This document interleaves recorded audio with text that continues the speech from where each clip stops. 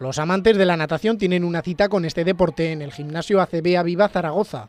El centro deportivo ha organizado su primera Copa Swimming. La competición, cuyas inscripciones están abiertas a todo el público hasta el 10 de mayo, tiene un objetivo marcado que encaja dentro de la filosofía del complejo promover eh, el deporte ya no solo a nivel de entrenamiento y de realizar actividad física dentro de un ámbito saludable, sino también pues, eh, favorecer eh, deportes, en este caso la natación, a nivel amateur. En esta cita, que tendrá lugar el domingo 24 de mayo, se incluyen un total de nueve pruebas, incluyendo ejercicios de relevos que generan diversos beneficios para los participantes. La natación es uno de los deportes más completos de todos los que podemos practicar y creo que uno de los hándicaps que tiene es que puede resultar un poco aburrido para la gente que no está acostumbrada a practicarlo.